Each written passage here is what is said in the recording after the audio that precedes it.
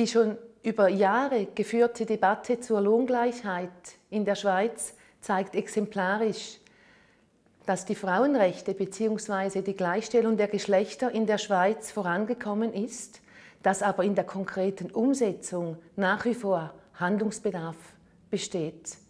Der Schweizerische Katholische Frauenbund und viele andere Frauenorganisationen sind daher überzeugt, dass es nach wie vor den Schutz der Europäischen Menschenrechtskonvention braucht, um diese Grundrechte zu garantieren.